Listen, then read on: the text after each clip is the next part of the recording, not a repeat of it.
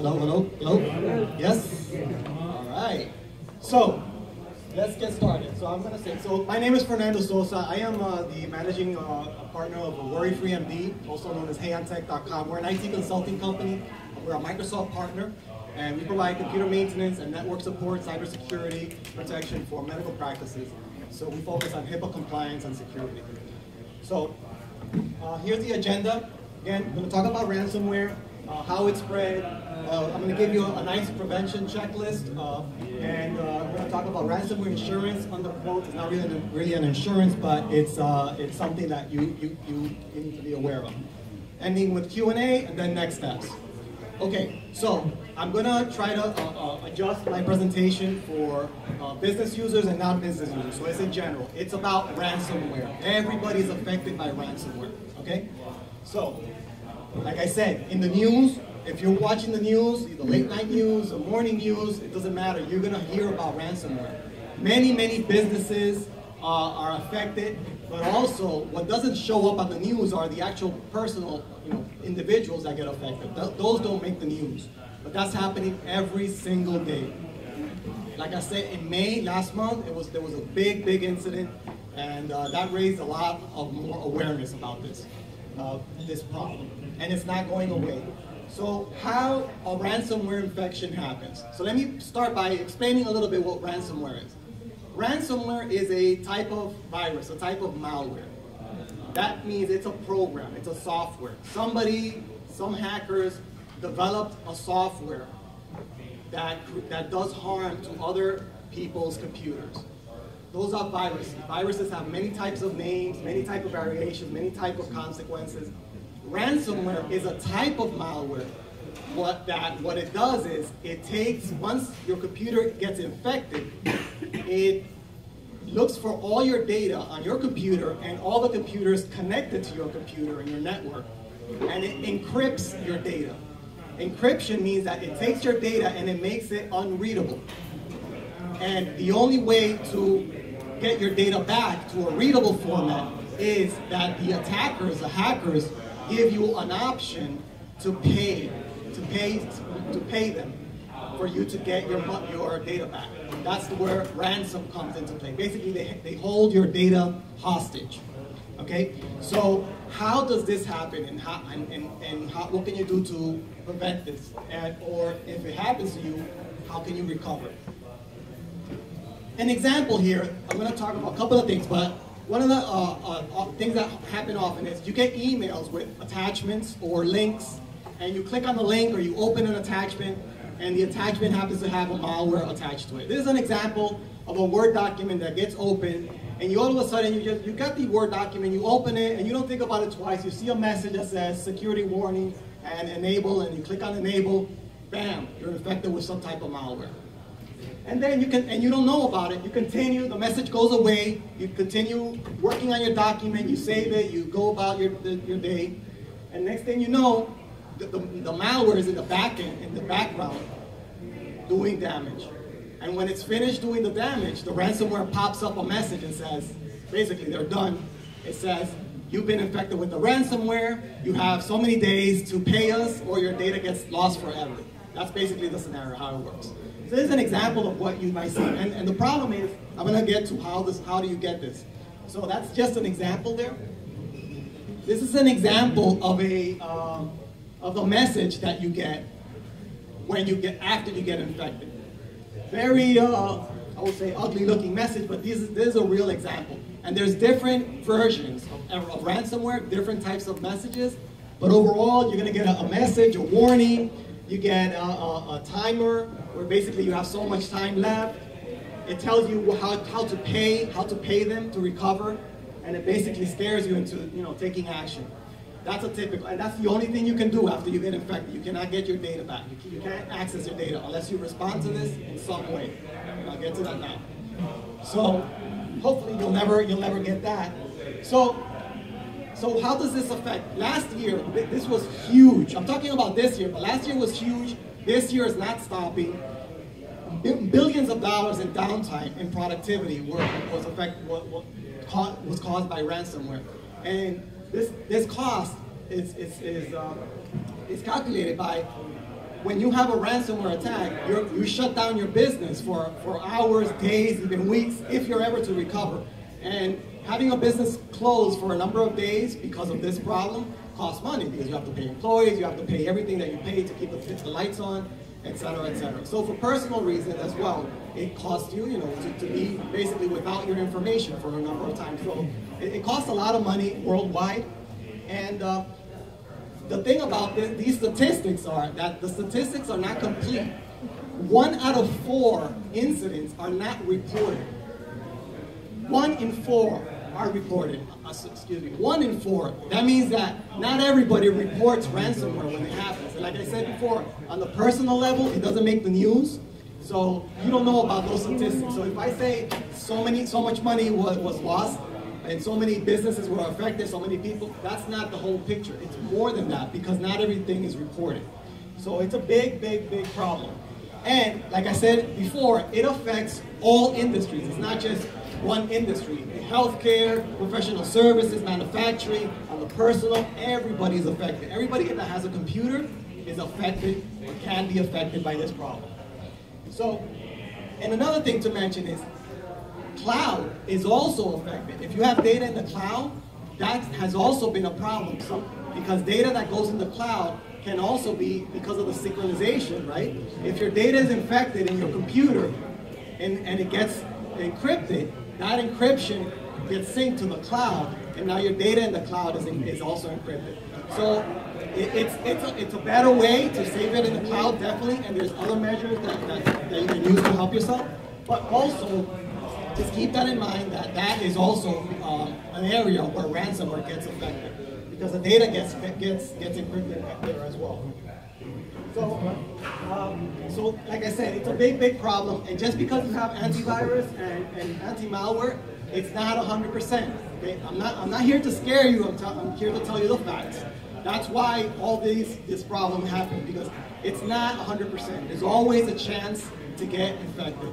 And, and uh, one of the biggest problems why companies get infected and people get infected is not by, because of technology, it's because of human error, our lack of training, our, our basic computer uh, skills, our computer awareness of what to do, what not to do, etc. So that's a big problem, and I'll, I'll, talk a little bit more about that on my checklist. So, uh, so that's, that's, that's, so the most common type of ransomware is called CryptoLocker. You might have heard of that name. That's kind of like the king of ransomware. It's, kind of, it's, it's very popular, and all and there's a lot of variations of ransomware that, that came about from this uh, type of ransomware. It might, it might sound the same, have a name like crypto something, crypto this, uh, but uh, CryptoLocker is, is pretty much the, the common one. So, uh, number, number one cause of infection, phishing emails and training, lack of training phishing emails. Phishing. Does anybody know what phishing is? Phishing email? Yeah. Phishing email is emails that you receive that appear to come from a legitimate source, but it's not. It's a fake email that comes to you pretending to be from UPS, the post office, the IRS, FedEx, a, a known source, a vendor, Amazon. It's a fake email that a hacker creates sends to you, it disguises the email as one of these companies that you know, and it tricks you into clicking on a link in the email or opening an attachment in the email. And like I said before, the email attachment and the link takes you to an infected website or to an infected file. And that's what's called a phishing email. And it's very, very effective, very, very popular. Why is it effective? Because it, it's, it's a psychological game that they play because you're getting an email, you don't think about it twice. Oh yeah, I, I recognize this. It's coming from FedEx. I'm expecting a package. It's Christmas. How many packages aren't delivered? Aren't you expecting, right? All of a sudden you get a, you get a, an email from your from FedEx. Or it's tax season. Oh, all of a sudden you get an email from the IRS. Something is wrong with your taxes. Oh, what's the problem? Click, click, and you click on it. That's it. So they, they take advantage of this uh, psychological uh, factor into and for you to open the, these emails and get infected. So that's phishing. That happens all the time. And the other one is, is, is training, basic, basic uh, knowledge, uh, lack of knowledge of what to do, what not to do, what systems to use, etc. here's an example of a phishing email that I received, and I said, let me copy this and, and show it to you. It's an email, I'm looking at it right away, it looks like it's coming from Office 365, right? And, and, and it's not. You know, if you read it, if you read it, you pay close attention, you might get, you might see the signs that this is a, a phishing email. Can anybody tell me what's, can, can you see what, a, a red flag here? Yes? After the ad, very good. In the address bar, who said, who's it coming from? It says something something at, at IKEA.com. IKEA.com. What's the, you know, that bling bling, red flag. Okay? But again, if you don't take a moment, a second to look, you might say, oh, you just see the logo, the color, you recognize it, click, and you click. That's it. You're done. So that's an example of a phishing. And this was this was simple. Some of them are e are more harder to, to, to, to, to track, to see, to detect. Um, this was obvious to me. Sometimes the English is broken, sometimes it just doesn't look right, uh, but some of them are very good, very good, and they, they, get, they get you. Some, some, some emails can even come from a friend, somebody that you know, not just a company, a friend. If you're infected with the malware, and that's a type of malware, tech checks your address book, and all of a sudden starts sending emails to your contacts. So now your contacts get emails from you, supposedly, with, with malware. And that's how it spreads. Okay, that's how it spreads. So, so how, how bad uh, can it be for business? Well, like I said, I mean, if, if a business is, is infected, it, it basically closes them down. And it's very hard for them to recover, very hard, because it costs a lot of money if you lose your data. And, and uh, um, it's, very, it's very, very hard to recover. So here's my prevention uh, checklist for you.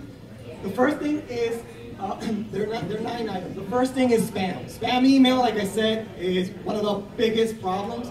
Uh, it's very cost effective for the hackers because they, they just send it out randomly, thousands and thousands, millions of people get it, and statistically somebody will fall for it. Okay, so you, you, um, there's methods to prevent spam to tweak, modify your, your spam filter. There's software for businesses. Uh, at, at, my level, for, for, companies, we have solutions uh, uh, for spam, spam filtering solutions. Uh, for consumers, you have that. You, you have what you have in Office 365. It has some some spam filtering.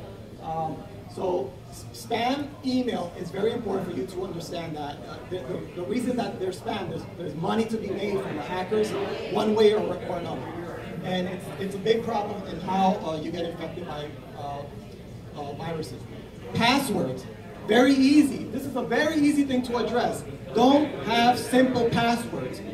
Breaches occur, a lot of breaches occur because of the complexity of the passwords. They're basically not complex at all.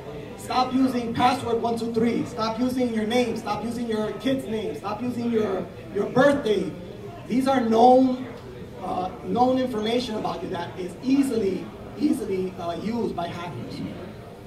And that happens all the time, okay? So, and it's easy to fix. Just make your passwords complex. And some sites actually force you to make it complex. And, and also, in addition to that, you want to change your password frequently, frequently uh, because passwords, uh, uh, you know, it's, it's a best practice to change them. And in addition to that,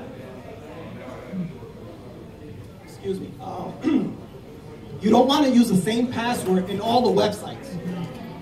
Don't use the same passwords for your bank, for your email, for your uh, office. You have to have different passwords for different systems. If one site gets hacked, then they have your password, then that password is used randomly in all these other places. You have a question? Yeah, log on to a site and, uh, you, and then you put in the username. They ask if you want to save the you say yes, is there a way you can do that and say, no, I don't want to? To undo it on the, uh, if you're saving the password, it, uh, there's probably something uh, saved on your computer, uh, a cookie or something that you can clear the cookie and it won't recognize your browser as being the person that signed on. So that, and it depends on the website. So they have different mechanisms to save passwords. But,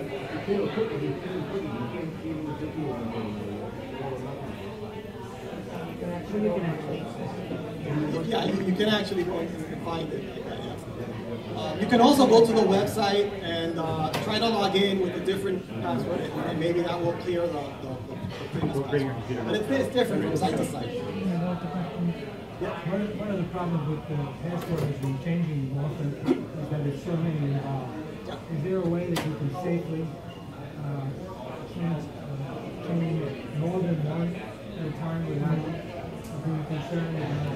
Yeah, it's a it's a predicament. It's like you know, it's like if you have a key in your house, if you have so many locks, you have so many keys. How do you keep track of all these keys? And if you change one key and you have five family members, you have to make sure that everybody gets the right key. You know, so managing all these keys is a kind of the same problem with passwords. All these websites now, I'm telling you, you have to change your passwords every so often, have different password. So it's a it's a it's a management nightmare. There are tools, software tools that you can use to manage passwords. Uh, and you basically save the password in this tool, and the tool uh, helps you uh, uh, change the password. You don't, even have to remember all the individual passwords. They create the complicated passwords, so you just remember like a master password. And, uh, there are risks, involved with that. I, I, I use that myself, um, and uh, because again, it's very difficult to manage Backing you up a second. We all know about spam mail. How do you recognize something's spam? There's different there's different different ways. Um, one way is check is just going is just scanning a visual scan. You'll, you, you'll see something, but you have to kind of uh, know what you're looking for. You can look at the subject. You can put your mouse over the link, not click on it. Put your mouse over the link, and usually you get a little pop-up that, that tells you where the link goes. You'll see right away if it's a, some some strange random letters that takes you to a strange website, you know it's a problem. So you put your mouse over the link, don't click on it, you'll see where it goes. That's a way to safely know um, that, that, it's, that, that it's not. Uh, if it has an attachment, be wary, beware. If it has an attachment, especially if it has a, a, a HTML attachment, but also Word, PDFs, etc. So, yeah. All right, let me move on. So, computer updates. this, is, this was a big problem that happened last month. Hundreds of companies got affected. It was, it was because of an update that was, that was released in March. So all these computers in, in May got infected because they weren't updated with the March update. And yeah, so updating your computers, not just the operating system, but your software, everything that's running is critical. It's critical because if you if your computer is not up to date, then uh, you can be vulnerable. That can be vulnerable to some type of uh, uh, vulnerability that's discovered later on. And hackers are a business. Hackers uh, are not people that are just sitting doing this as a hobby. They're a business. They track software and they scan and they try to find to, how to break into software. And they make it a business. They have a business, really. They have a calendar of what to do based on the, on the, on the holidays. They know when to send certain emails. They know, uh, you know, so it's a, it's a serious business. So you want to, you know, protect yourself by having your computers up to date. If you're a business and you have multiple computers, it becomes difficult to manage, and that's where you get an outsourced IT provider like myself to help you with managing all these computers and servers and all these software. Uh, so computer updates is very critical. Training, like I mentioned before, is, is basically employee training, uh, uh, how you know what to click on, what not to click on, what to email, what not to email, what websites to go to, what not to. These are kind of things that you can uh, avoid being uh, uh, breached or being hacked if there's some basic training uh, given. Advanced security, again, this is more for the businesses. That, that requires the staff to actually use these sophisticated tools that are for larger corporations that have more, more to do with the security. I'm not, going to get more into that. A firewall, uh, in your house, you should, and of course in your business, you should have your, your first level of defense from the outside world is a firewall. Uh, typically, as a home user, you probably have a you know, a router, some type of router that has firewall capabilities, and that's as much as you, you have. Uh, for the businesses, we recommend some uh, uh business grade uh, firewall. It's more advanced, it has more protection, and, it, and the thing about firewalls is that the firewalls have to be updated as well. You don't just buy a firewall and, and not update it, set it and forget it. You have to maintain it. And typically that's done by the IT provider that maintains the firewall. So that's the first line of defense with firewall. Encryption. Encryption is your safe haven. If, if you encrypt your data, and Windows has uh, the encryption tool called BitLocker, if you encrypt your data and, and your laptop is, is, is lost or stolen, your data is, is, is, is more protected because the data is not readable by the person who takes your computer because you encrypted it. It's kind of the same concept as a ransomware, right? The attackers, they encrypt your computer, and for you to get it back, you have to give them something. But if you encrypt your computer, you're proactive and you encrypt your computer, uh, that helps you in, in, the event that your data is lost or stolen. It still doesn't prevent you from getting a ransomware attack because they can encrypt your, your encrypted data. Yes, yes. My data on my laptop encrypted by the company I work for. But that didn't stop anybody using my laptop. It only stopped if I made copies gave it out, get it. If anybody got my computer, yeah. If, if they could log on to the computer, they they had access to everything Yeah. If they so that doesn't really help It, it helps if your data, if, if somebody gets your computer and they cannot log into your computer, then the data, well, it's logging into the computer is one level of protection, but the drive itself, let's say I take your laptop and I, I take the physical drive, I take it out, I put it on my, another, and I have a I'm not logging into your computer. I'm opening your computer and taking the drive and putting it on another computer. I have the data. If it's encrypted, I can't get it. Yeah. If they have, if they have yeah, if they have it, yeah. No, if they if they get into your computer with your login account, because the encryption is tied to your to, to your credentials. Okay. So. 60 minutes. Questions, uh, actually one comment on that you mentioned that Microsoft Windows does this. In mine, that this only works in Windows 10 Pro, and the higher version Yeah. uh, have BitLocker, and it doesn't work on the version. Um, as far as encryption itself goes, if you've encrypted your files and the ransomware re-encrypted, Yeah, with the double encryption. Yeah. you can double true. It's just data. It's unreadable, but it's data. Then it's, it's encrypted again. Yes.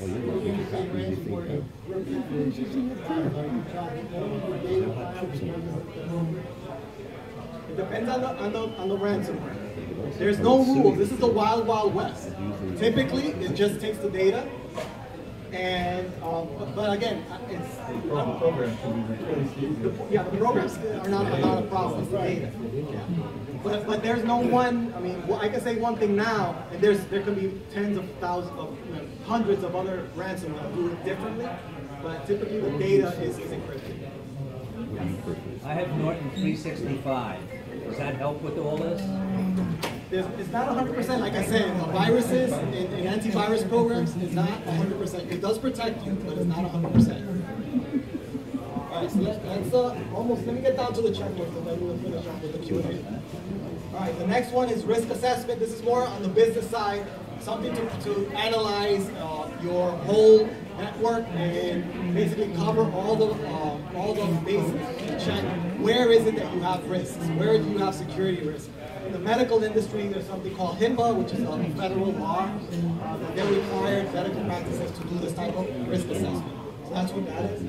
Uh, then backup. Backup is your your what I was calling the ransomware insurance. If all else fails, if all else fails, you have to rely on a good backup solution. Okay? If all your, your, your prevention fails, backup is what you will be able to recover. And when you hear in the news that somebody recovered from a backup, from a, from a ransomware, it's because they had a, a backup solution that worked. Okay, so wrapping up, um, like I said, backup is the best uh, uh, the prevention uh, in the event that you do get infected. So that's your checklist. If you want to download that, you can download that checklist. There's a link there. You can ask me for uh, the link, and you can download the checklist. So share what you learned, take action, and uh, don't be a victim. So if I'm going to continue now, if you have any questions, thank you very much. Yes. Thank you.